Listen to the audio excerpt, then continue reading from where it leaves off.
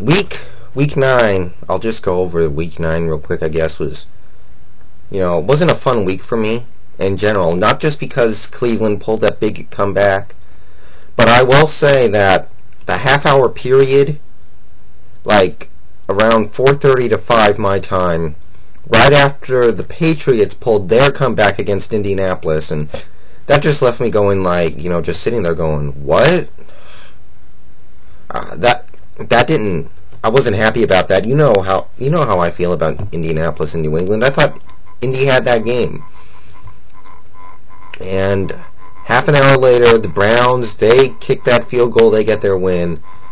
Oh man, that was a rough one-two punch for me. That was rough because I was watching both those games and I thought Seattle and Indy had those games, and really they should have. They had the opportunity to put them away, but they didn't, and you know, it wasn't fun for me to watch. And um, I didn't enjoy a lot of stuff that happened in nine week in week nine because my picks were pretty bad. Uh, if you go to my page now, I think it says I'm 93 and 53, something like that on the year. I'm too lazy to look it up, but you know, that's pretty good. That's better than most experts, just for the record. Um, you know, last week and actually this week weren't good for me, but, you know, last week, uh, yeah, that great win by Green Bay, that I, I enjoyed that. That was great. You know, seeing Favre hook up with Driver with the game on the line for a 60-yard touchdown again. Um, you know, special. There's something special going on in Green Bay right now. Yeah, they're a good team, but there's something magical there that transcends how good, how many good players you have on your roster. Um, they won. That was probably the highlight of the day for me. Everything else I was pretty much neutral or negative on. Um, Portis absolutely gashed the Jets in the overtime win. Uh, you know, that was something. Um, and also David Harris of the Jets, this inside linebacker coming in for Vilma. He's got like 50 tackles in the last two games for the Jets. That's that's extraordinary. This this kid's a player. I liked him coming out of the draft, and I know a Jets fan who really liked him as well. So he's going to be something. Uh, Saints threw up 41 on Jacksonville. I can't put my finger on this damn Jacksonville team. They are so inconsistent. Um, they just can't seem to get any consistency going. Um, Brees just tore it up. I mean, wow, you know. Um, you know, good job by New Orleans. Back to 500 after that win. Um, Bills, you know, that offense is really starting to get things moving. Uh, Marshawn Lynch, if Adrian Peterson's injury is now serious, which actually happened in the following week, he's got Rookie of the Year because he's playing some real good football right now. Losman has found his game. Lee Evans is playing well again. Defense is making some plays. Uh, I think they're going to give the Patriots a game in Week 11. Not going to win, but they'll give them a game. Uh, Tampa Bay beat Arizona in a game that nobody seemed to care about. You know, just business as usual, I guess. Uh, Lions absolutely stomped all over Denver. And you know, I like Denver. I, I like the way they run that franchise, so that sucked. Uh, you guys got to go check out um, Shaun Rogers' touchdown, the one where he picked off Ramsey, ran 70 yards. Oh man, so funny. Uh, you guys gotta, if you haven't already seen that, go see it because seeing Shaun Rogers pick off a pass and run 70 yards to the end zone, that's a rare joy in life. That that was great. Um, obviously, Cutler got hurt. Ramsey came in and was ineffective. Um, not a lot I'm going to say here. You know, just a clock cleaning. Um, Tennessee beat Carolina. And my sleeper pick this offseason is going down the tubes pretty fast. I, I think it's over. Uh, Tennessee pretty much ran all over them. Uh, the Carolina offense couldn't wasn't ineffective. Uh, not a lot else to say there. Uh, Adrian Peterson, holy, holy wow. I remember I was watching, this was my early game, watching this, hoping he would be able to squeeze out that last four yards he needed to break the record, and they gave him one more carry, and he did it, and what a, what a monster.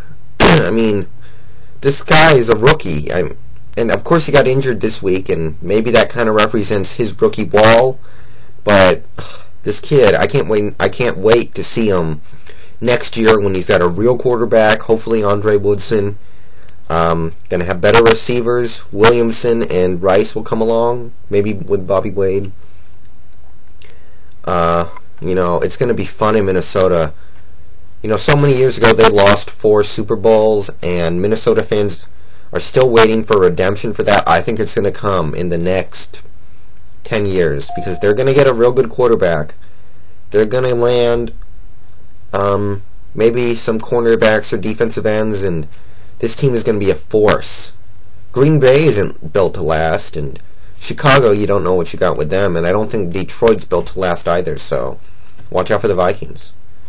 Uh, Falcons beat the 49ers, just couple of inept offenses in my opinion. Alex Smith, it's like I said in my last video, but this was continued to be more obvious the following week. Alex Smith, I think he's a bust.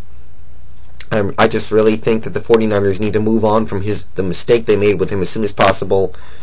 This was like the only game all season where Vernon Davis did much of anything, so that's good. They're starting to build their offensive game plan around him, and nice job at work done. I thought he was done, washed up, but he's put together a couple of good games now.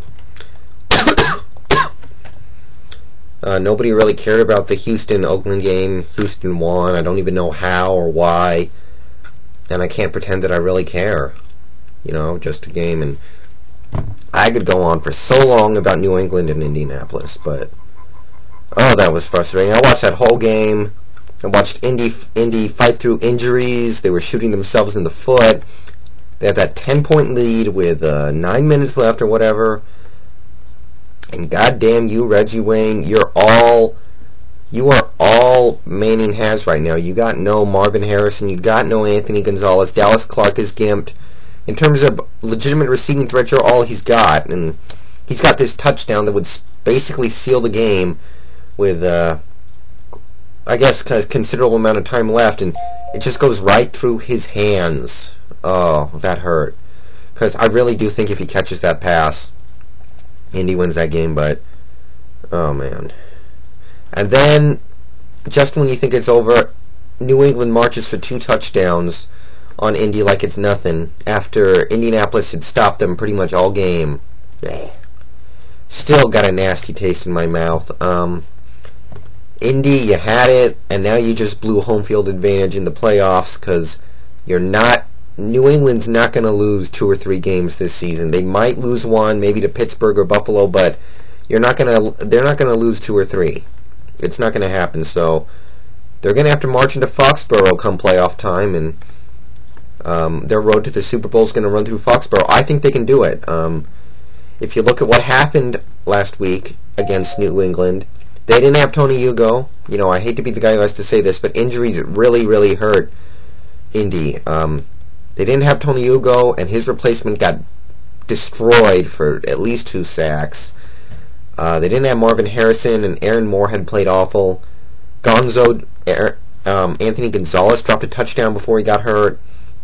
Obviously, Reggie Wayne dropped a touchdown as well. Um, you know, I I don't want to make excuses. You know, I give New England all the credit they deserve. They won the game.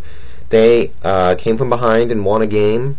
They had to fight some issues from the referees. I'm not saying the calls were bad, but they were certainly questionable. So I give them credit for that. And Indy blew their chance to secure home field advantage, but I think things are going to be different. I think there's enough evidence to believe that things are going to be different next time these two teams face. So I can't wait for that. To me, that's the Super Bowl. I really do think that it's going to be one of these two teams at the end, and I don't think any other team can win the Super Bowl, barring you know a cataclysmic upset. Uh, last two games, Dallas beats Philly. You know, just a pretty good clock cleaning. Romo had an amazing game. Owens finally got to lit, lit up, light up his old team. Um, you know, McNabb threw a couple of picks. He's actually been having a great statistical year and hasn't been easy to pick off. So I think that's worth something. Um, you know, Dallas just knocked them clean out. There's nothing else to say. I don't got much else to say about Pittsburgh and Baltimore either. McNair is old and washed up. I'm ready to see Kyle Boller or Troy Smith. Um, you know, Ben obviously lit the Ravens up. He didn't throw very much, but when he did, it was almost always in the end zone. Uh, another clock cleaning, another divisional rival game where one team just gets embarrassed. And uh, I don't think the Ravens. I think the Ravens are pretty much done at this point. They got no quarterback. So that's all I'm going to say about Week Nine.